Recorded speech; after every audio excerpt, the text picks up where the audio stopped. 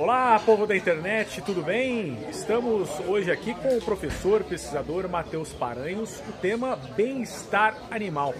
Professor, como que está esse assunto no Brasil? O criador, o pecuarista já está ciente a respeito da importância deste tema? Olha, tem, é um, tem bastante avanços nesse sentido, conscientização dos produtores, dos técnicos, enfim, do pessoal de campo todo, vaqueiros, capatazes, é crescente e nós temos percebido que a adesão às boas práticas do bem-estar animal vem para ficar.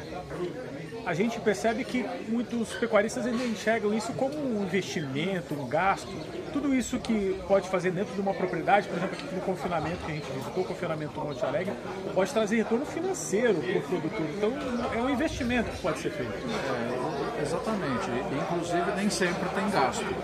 É, parte da, das boas práticas de bem-estar animal envolve mudança de atitude e comportamento. Parar de gritar, parar de correr, parar de bater nos animais. Isso não custa nada, é simplesmente mudar o comportamento das pessoas. É óbvio que outras ações, correções no curral, até quando for construir um curral novo, você vai ter que fazer um investimento, mas você pode fazer ele melhor quando você leva em conta o comportamento e bem-estar dos animais. Isso também é importante para a imagem do Brasil lá fora. A gente conversou com a Dr. Tempo, que visitou o confinamento.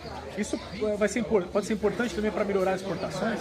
Não, com certeza. Muitos dos países, principalmente da Europa, quando estão interessados em comprar produtos da, da, da pecuária brasileira, eles têm o tema bem-estar animal como uma das exigências. Então, se você quer exportar para países mais exigentes que te pagam mais, é bom estar atento a essa questão.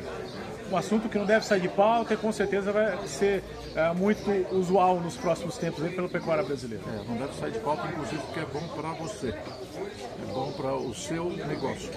Muito obrigado. Comecei com o professor Paranhos, assunto bem-estar. Até a próxima.